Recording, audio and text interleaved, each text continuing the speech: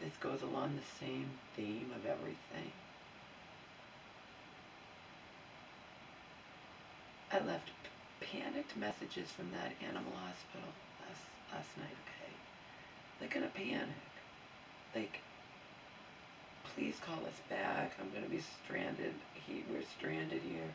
Even if the police can drive my mom home, Omar can't be in their cruiser. It's not allowed, per period. And and um, et cetera, et cetera. And I, I'm probably gonna have to spend the night overnight with Omar, but I'll take my mom's phone and try to reach people or whatever, and I'll hopefully survive. You know, are gonna do? At that point, it didn't matter. I want to make that clear.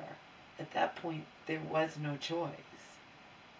I could have easily been creating either never create a video because I was raped killed, or create a video where guess what, I had Omar and I had to spend the night on the streets with me just in my mom's yellow skirt and, it was a little chilly. It was sprinkling a little bit um, in their church. I, I got lucky the final people we called answered the phone. And you know what they told me in, the, in their car? They said, I said, no one else from your church answered the phone. She's like, yeah, your mom bothers people and they scream the calls and when they see it's from her, they don't, they don't pick up. Yeah. Probably don't answer, listen to voicemails either. But you know they eventually listen to them, right? You would have thought. You would have thought. But then again, we're not dealing with a Laura. We're dealing with other people because Laura, if some she got panicked, like like it, they didn't even call today to say, hey, how did it go? How'd you guys make? No, nothing. None of them. None of them.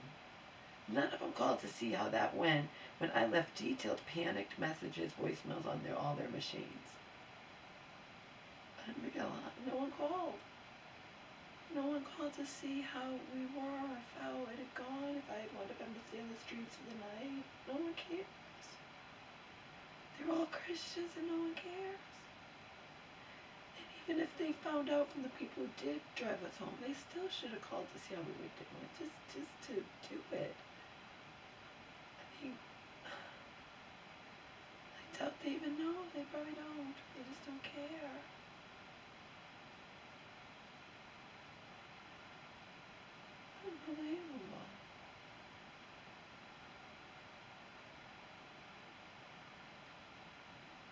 That shocked me too.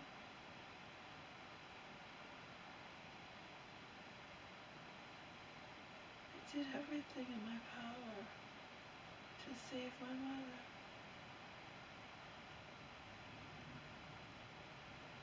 I don't think she should even go to her dentist appointment. But maybe I'm just postponing the inevitable, let